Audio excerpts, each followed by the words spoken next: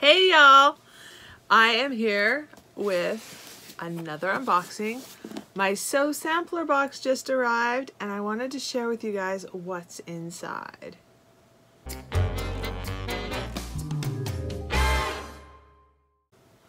Welcome to Baby Girl Crafting. I'm JJ and today we're going to take a look at the October Sew Sampler box. So I just got it. So excited wanted to share with you guys. So to, to tell you a funny thing about this box is it is weighted differently. So there is something on this side of the box that is really, really heavy. I mean, not really heavy, but much heavier than the rest of the box. I'm guessing fabric, but let's check it out. Before I do that, I know, little teaser, sorry. Um, what do you guys think is in here? I didn't look, well, I kind of looked at the, at the little secret thing that they send you, but it didn't make sense to me because I'm clueless sometimes. But I was thinking we would be getting something like Christmassy because it's time for all those Christmas crafts to come out. A lot of my other boxes are sending Christmas kits. So, I don't know. I could be wrong because that's not what I got from the hint. But let's see. The hint seemed like it was really white and black. But let's see. Alright, I'm opening it. Oh yeah, the theme. Just type it. Did not seem at all Christmassy. I was really surprised. There you go. Okay, so that's the theme. So we take it out. And then we got some coupons on the back. And okay, so it is definitely a black and white theme box. That's what I'm looking at. And let's first thing we get is our little card. So there we go. And on the card, it talks about all the little things. I usually put this to the side to begin with. And if I have questions, which I always do, we can go back to it. Alright, so the first thing we got is Perfect 10 Quilts. 16 fabulous quilts featuring our new Perfect 10 ruler. I don't know if this is just an advertisement or what. It's just a piece of paper. Perfect 10 book and ruler by It's So Emma. Pick yours up today at the Fat Quarter Shop. So I'm thinking that might just be an ad.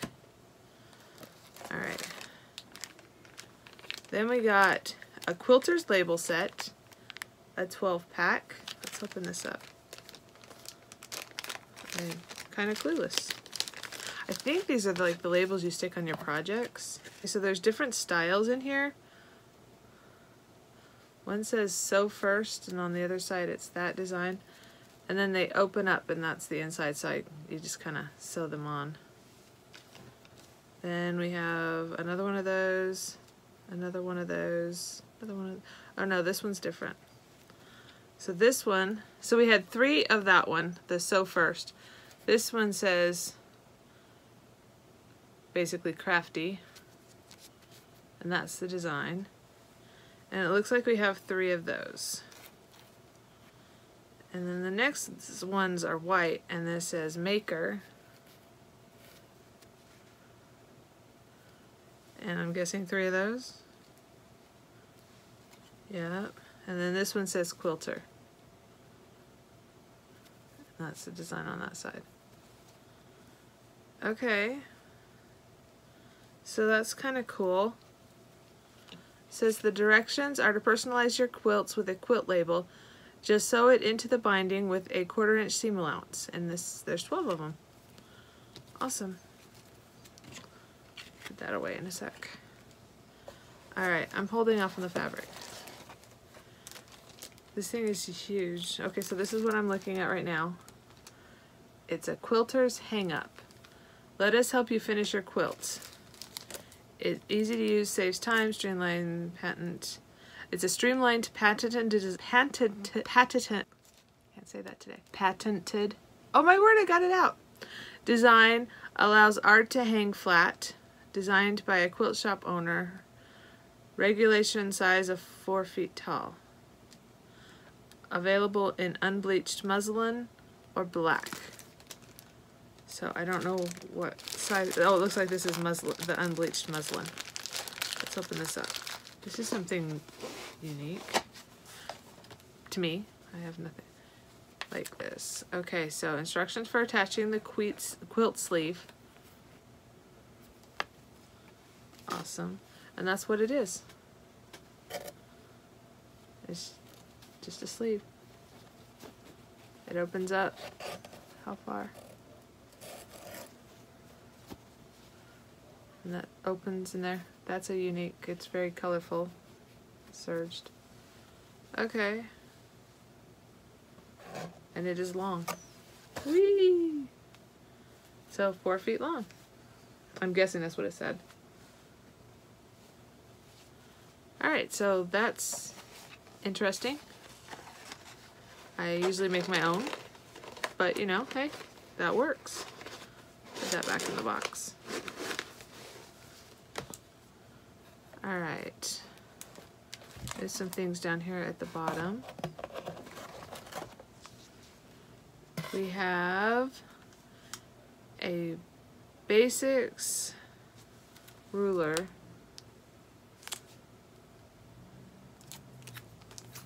That's what it is right there. Grab a jelly roll of your favorite pre-cut. It's so basic, so fun. Your essential tool for pre fabric pre-cuts. Instructions are inside.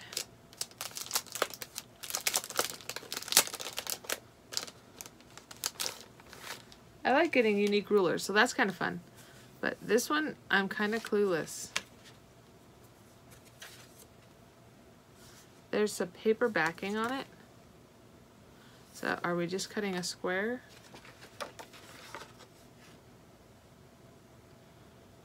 Before you get started, you should remove the protective paper backing from the template. Okay. then place non-slip film or discs to both sides of the template. I have those. I have the discs. Um, the Basix uses two and a half strips. These can be ready cut, i.e. jelly rolls, etc. Or you can cut your own. Any pattern. Okay, so basically you take your two and a half inch strips, you sew them together, and then you use this ruler to cut them out in different shapes, such as this. Okay, that is like a really unique idea. I like that idea.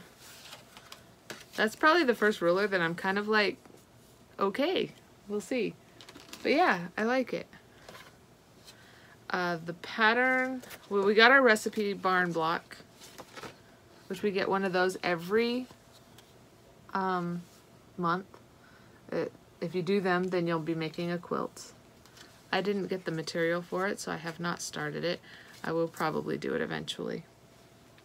But I've decided not to worry about it this year.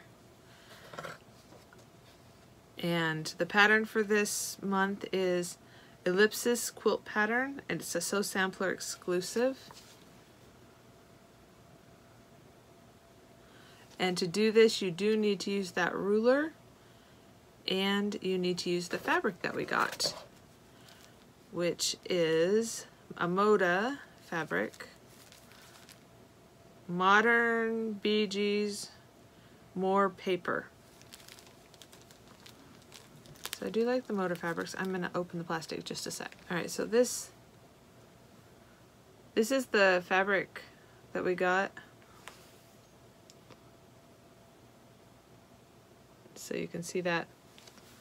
And this is what I'm looking at. So it's very blacks and whites and grays. It looks like there's some pinks in there. I thought I'd open it for you guys. Take off the little ribbon. So you guys can see the fabric. Because this is very new fabric for me. Oops.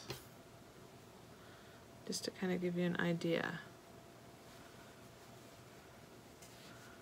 So those are the fabrics that we're getting get down into these lighter ones. This is striped. That's actually one piece of fabric. Some dots and patterns. And that's it. So these ones right, there's a couple of these that look like these lighter ones right here kind of have, on the camera from here it looks like they're showing gray. They actually have a little bit of a pinkish tint to them.